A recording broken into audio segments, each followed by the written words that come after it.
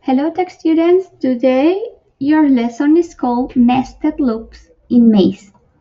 Your goals for the lesson are I can break complex tasks into smaller repeatable sections. I can recognize large repeated patterns as made from smaller repeated patterns. And I can identify the benefits of using a loop structure instead of manual repetition. The one that I want you to focus on is the second one. Uh, in this lesson, you're going to be recognizing that smaller patterns make bigger patterns. You know that a loop is the action of doing something over and over again? But I, I want to ask you, what do loops do? Do you remember? Do you remember also how do we use loops? Let's go to code.org and I want you to uh, click on the big red button that says continue with Google.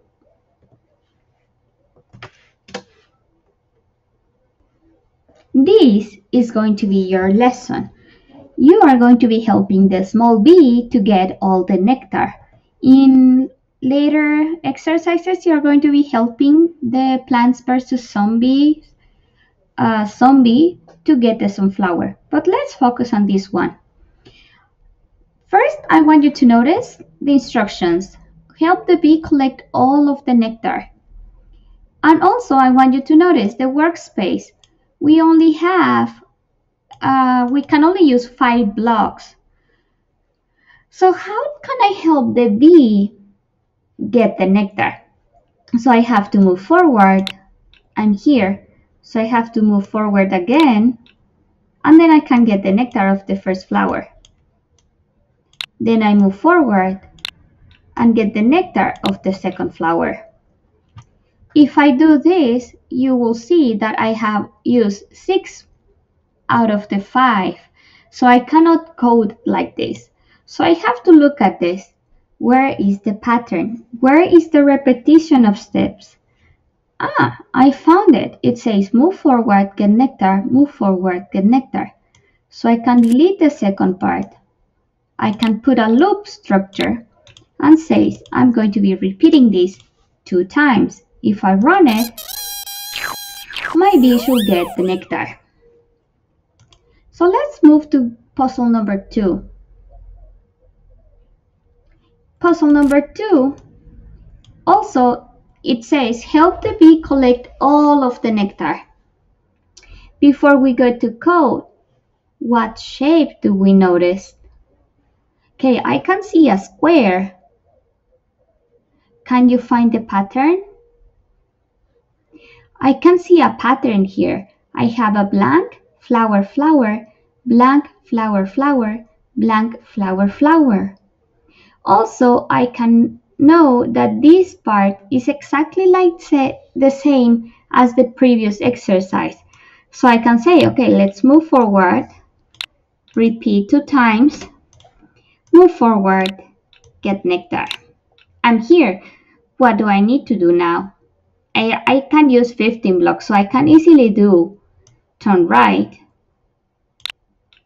And then I can repeat again because I have a forward pattern pattern. Okay, so I can say forward, repeat two times, move forward, get nectar. Then I need to turn right. So I'm here. So once again, I have to move forward, repeat two times, move forward, get nectar. And there we go, we use the 15 blocks. If I run it, my bee is going to get all of the nectar. Before we move to level 3, let's stay here for a little bit. So click on replay. Can you imagine doing this with 8 blocks? Instead of using 15 blocks, I can use it with 8. I can do it with 8. So let me put this away. To do this, I can just do a bigger loop and say, okay, we're going to be repeating three times. Move forward, move forward, get nectar, move forward, get nectar, and turn right. I have eight blocks. If I run it, my bee is still going to get all of the nectar. Don't go further, we're going to still working on puzzle 2. Can you imagine doing this with 7 blocks? We can still using less, less blocks. So I'm going to be putting this, I'm going to be erasing the one with 8 blocks. And I'm going to go back to the one that I have 15 blocks. If you notice it, once we were coding it, we have the same pattern going again three times. Okay, so I have this one says move forward, repeat two times, move forward, connect and move, turn right. Then I have the second one, it says move forward, repeat two times, move forward, connect and turn right. And then I have another one, move forward, repeat two times, move forward, get nectar. So how can I solve this with seven blocks? Okay, if you count these blocks, we have one, two, three, four, five. When wrong counts as six. So which one will be my block number seven?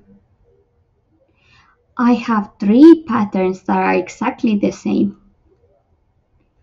So maybe I can do a loop.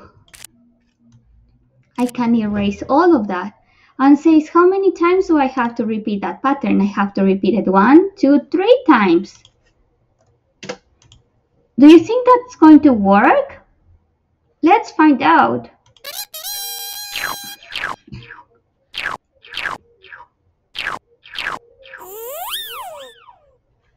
Okay, don't go forward yet. this is an example of a nested loop. Is a bigger loop that inside of it has a bunch of coding. Or we can think about it like the bigger loop or the nested loop is hugging the code that is inside. And you already knew that we can have loops inside loops.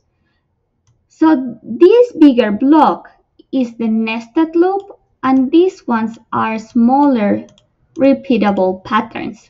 Okay, so this is my small pattern. This is my big pattern. Let's go to number four. You can skip the video number three. So let's go to number four. Number four, uh, what you need to do is to look at the structure that you have down there. What do you think is going to happen when you click run? Is the V going to move forward and get the nectar only one time? Is the V going to get only two units of nectar? Or is the V going to get all of the nectar? Please don't choose letter D. Think for a little bit about A, B, or C. Choose one letter and then click on run. Ready? Number five, I'm going to be, this is the last one that I'm going to be helping you with it. Okay. Let's think for a moment here. What shape do we see? Okay. I can see a square. And that square has flowers with nectar, with one unit of nectar. So let's break this puzzle into smaller chunks. What's the basic, basic instruction that the bee needs to do? The bee needs to get the nectar. How do I get the nectar? So we get the nectar. Let's put the code there, the, that block there. You can also notice that I can only use six blocks and I have two move forwards and two loops. So I cannot use more than that. So I need to get nectar, but I also need to move forward. So I can either put it here or put it down here. It's up to you. So get nectar, move forward. How many flowers do I have? So I can get nectar, move forward, get nectar, move forward, get nectar, move forward. That is not correct. So let's say get nectar, move forward, get nectar, move forward, get nectar, move forward. So how many times do I have to repeat it? You have to repeat these sides three times. If I do four, this is what happens.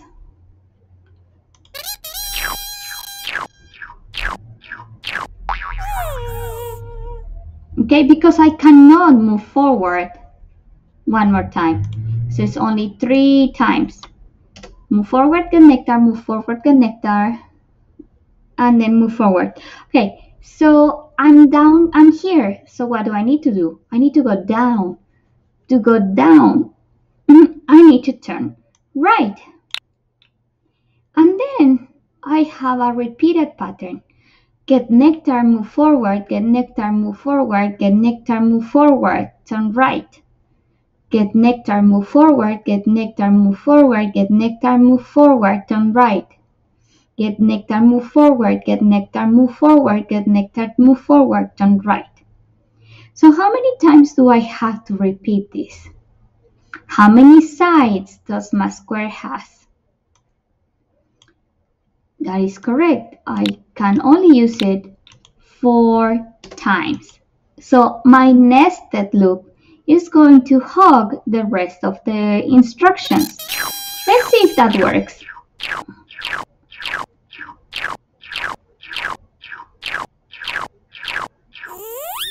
There we go. Okay, so continue coding on your own.